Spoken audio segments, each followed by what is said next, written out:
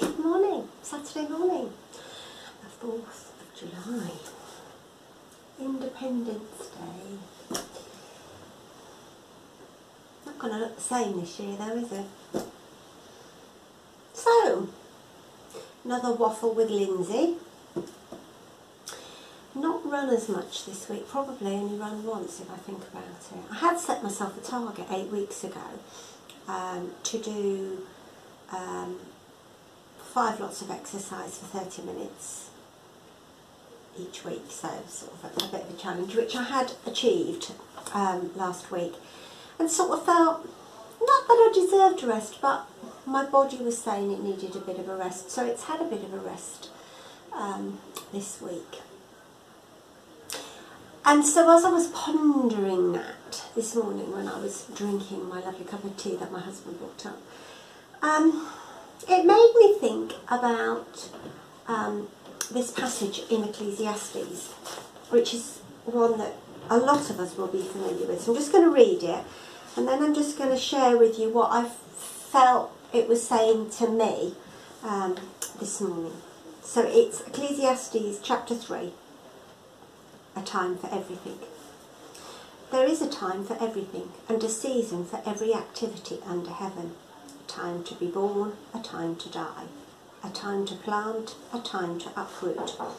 A time to kill, a time to heal. A time to tear down and a time to build. A time to weep and a time to laugh. A time to mourn and a time to dance.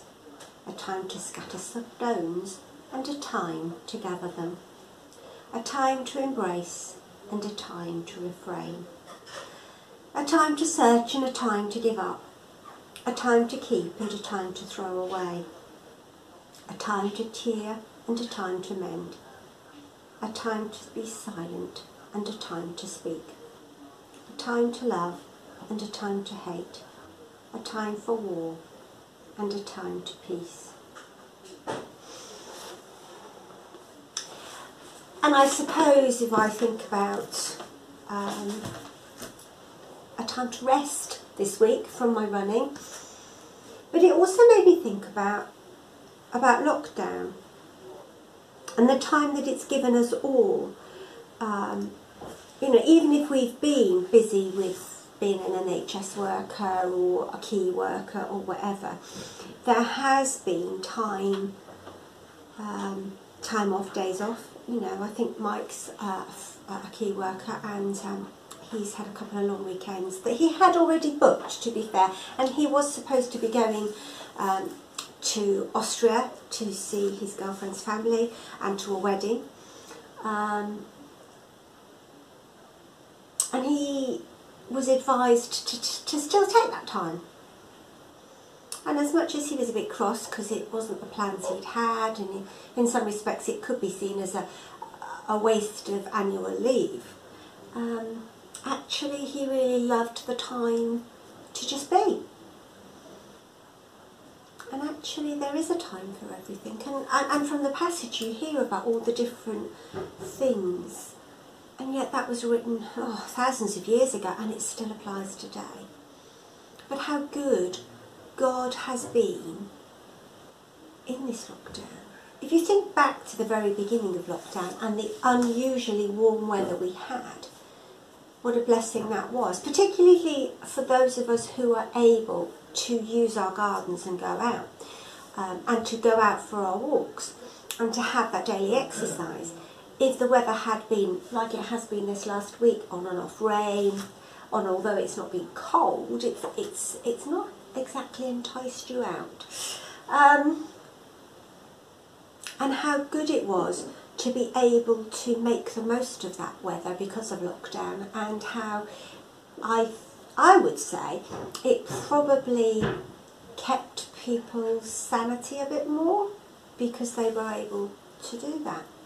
And you have to look at today and think, well, there's lots more opening, um, you know, and one of the bits in the passage said there's a time to hug and a time to refrain, and obviously we're in the time to refrain at the moment. Um, Hugh and I popped into town yesterday together, first time Um, obviously, since lockdown, we had some Marks and Spencer's vouchers that um, we thought we would use and treat ourselves to one of their, I think it's it dining for twelve pound or something. So we thought that's what we'd use the vouchers for. So we went together so that we could choose what we wanted to eat. Um, and I have to say, apart from going into town to Sainsbury's or to Marks and Spencer's because they do do certain stuff that um, is good for Dan's diet, I hadn't actually been in town, hadn't walked up um, the Orchard Centre, hadn't walked around the new bit, um, and how different it was and what a different feel it had. Um, I'm not really, I mean, although I like clothes and I, I quite like shopping, I, I don't know. I have not been in a rush to go and do that. And Hugh certainly hasn't. Um, I'm not in a rush to do it again, if I'm honest. Um, so you do have to say, well, if that's how I'm feeling, are other people feeling the same? It, it, is the High Street going to seem a very different place? Are people going to go a bit silly today? I hope not, because um, I've watched lots of things on television this week about being on the front line. There was a, an amazing documentary about a, um, a Spanish doctor uh, who is a um, um, you, you know critical care doctor, and how coping with that, and how she isolated herself from her family to keep them safe because she didn't want to bring anything home from work and, and then impact them. Um, and she could only talk to her, you know, made a decision to talk to her little child through the door. Through, they had like a, a, a door um, to where she was so that he could at least, you know, touch her hand and talk to her. And he had his bedtime story through the door and things like that. Um, and what a sacrifice that must have been for her. But it also, um, within that, showed a, a, a young 18 year old, a Spanish guy, um, who completely threw them when he was brought in because up until that point they had been dealing with older people. So to see this young man be brought in who was fighting for his life because of coronavirus really had quite an effect on, on the staff and on the team. Uh, and when she was looking at his x-rays, you know, she, you could see the emotion um, and how it was affecting her. Um, and then, you know, she, as you watched her over the time and over the, over the documentary, that you know, she kept checking on this this this young man just to see how he was, and luckily he's come through it, and they got to the point where they're like, he's turned the corner, and the relief on their face. So it wasn't his time to die, but it was his time to realise how good life is and what lies ahead of him. And that was that was phenomenal to watch somebody so young to realise that. And you have to look at the garden, which I've talked about a lot now. But you know, this week's been about um, sorting a few things out. So I talked to you about the weeds and the, the goldfinches and that they'd gone last time the, the rain really came because they just couldn't go, bless them. Um, but this week my little violas, I've, um, they've had it, they've gone leggy, they look a bit naff. So they've been um, chopped back and given them a little bit more compost and a little bit more love, a little bit of feed. They might come back. If they don't, I've not lost anything, just a bit of time. But yeah,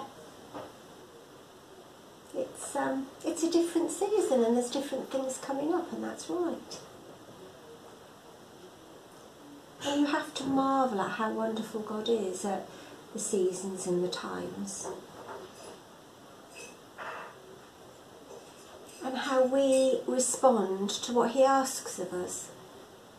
You know, if I think about what did God ask of me during lockdown, and did I fulfill it? And did I have the time to do that? Probably didn't spend as much time with him as I had hoped, if I'm honest really glad there's only one more week of homeschooling. As much as Dan's done amazingly well and what the school have done has been amazing, I've now had enough. Um, it'll be nice to just have to get up when I want and do things that I want to do instead of having to be up and at 'em and ready for school and ready to face whatever subject it is that we've been learning about. Haven't cleaned cupboards out. If I'm honest, I didn't think that was going to happen anyway. Have done a lot of gardening and have learnt loads. Learnt lots of new tricks, new skills, which is good. Um, what am I going to take into the future? Minus my need, I think. I think this week not running and not having my Christian music and not having that that time and that space at the start of the day, I've realised how important that is to me. Um, so, yeah, it's taken me to this week to learn it. Uh, but that's okay. That's okay. There's a time, there's a place.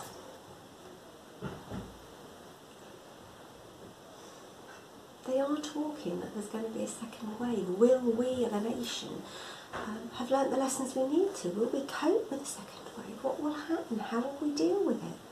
Will it be localised lockdowns? Who knows? Is it a time to reflect? Is it a time to get a plan in place? Chatting to Jonathan last night, and um, his company are not going back into the office till at least October, November time. And then only those that need to be in the office. So, for example, I, I think, I don't know, I could be wrong here, I think they've got a game that's coming up for release. Um, so there might be things that need to be done within the office setting that can only be done in the office setting when you get to that point. Um, so Jonathan's convinced he won't be back in the office till next year, if then. Um, that's something that we've learned through lockdown, that there will probably be a lot more people working from home. Is that a good thing? Is that a bad thing? I know for Jonathan, he misses the banter in the office, he misses the hubbub of the office, he misses the sparking of ideas. Um, we were brought into this world, God wanted a relational relationship, He wanted that with us. We're relational beings. Um, will that cause more hassle? I don't know. Who knows? We don't know what the future holds. But we do know, we have a God who knows what's right for us. And we just need to listen to Him, to get into His Word. Um, I hadn't thought of the Ecclesiastes passage for a long time. It just came up this morning and you read it and you go, wow, yeah, yeah, yeah. Written all those thousand years ago, but it's still valid today. And for each one of us, something within that passage will have meant something over the lockdown, over the last week, whatever. And that's awesome and amazing. It sort of blows me away a bit, really.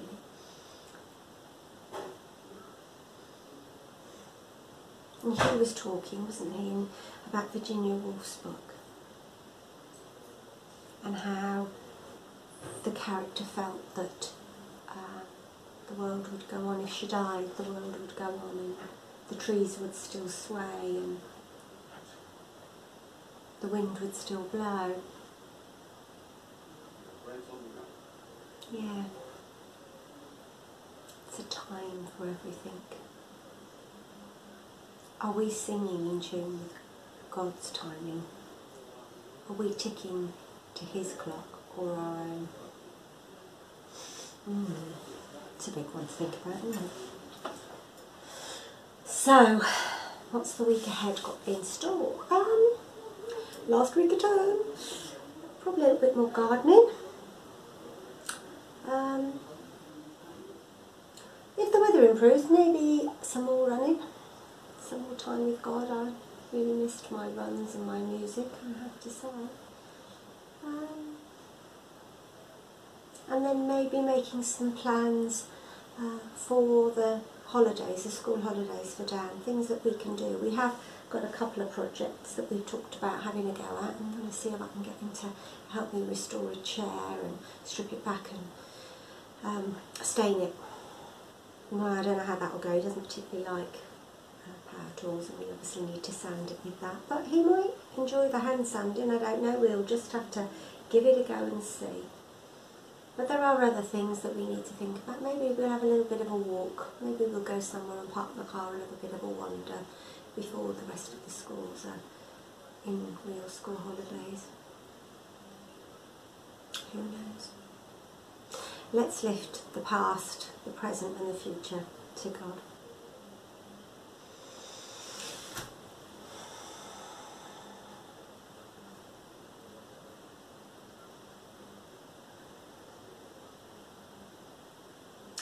Your blueprint for our lives is amazing. You knew the timings of it. you knew the time for us to be born. You know the time for us to die. You know the time for us to do the things we need to do.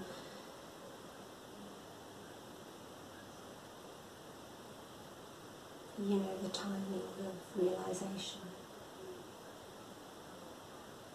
The timings to plant the seeds, to make the plans, the times to fulfill those plans or make steps towards them.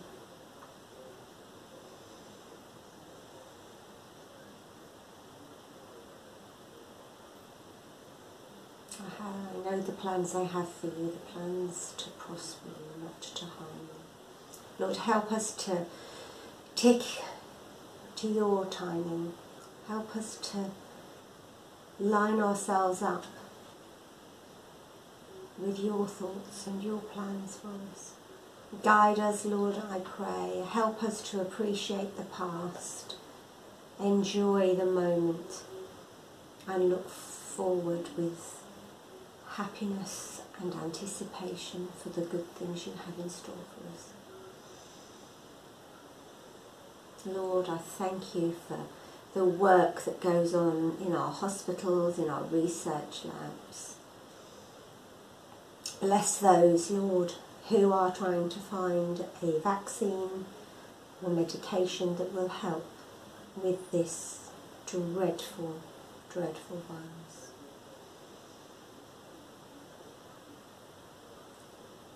Lord, I pray for the further unlocking this week. I pray that people will be sensible, that they won't put themselves and others in danger, or the NHS in danger of being overrun. I thank you, Lord, that it wasn't. I thank that you that during the peak of the first phase, that um, we were able to protect our NHS. And I pray, Lord, now that you would be putting in place things to enable those who are on the front line to process what they've seen and come to terms with it, Lord. I pray the help will be there. I pray for the job situation, Lord. We don't know what the future holds, and maybe for some of us, this is an opportunity to go in a different direction, to try a different thing, to find a new way forward. Only you can lay those on our hearts, Lord, as we come before you. I pray for the future, Lord. I pray for the different way it's going to look for all of us. I pray that we can embrace it and that we can be looking for the changes so that when we go to the shops we are looking at the floor to see if there's a one-way direction and we're going in the right direction. That we see the marks on the floor that says keep two metres apart. For the different ways in which familiar things to us will be set out, whether that's in restaurants or places that we go to enjoy a coffee. I pray for our times together, Lord, as we begin to meet with family and to enjoy those times together. Lord, I pray that we will as a nation learn to protect each other.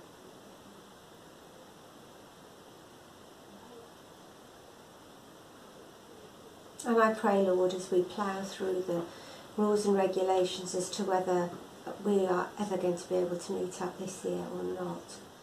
Um, that your guiding hand will be upon all of those things that need to be discussed and planned and thought about. And obviously, the wider context of that, Lord, is it's not our own building and it's not our own equipment that we use. So guide those that make decisions, Lord, that they can see the whole picture and not just the bit that affects them.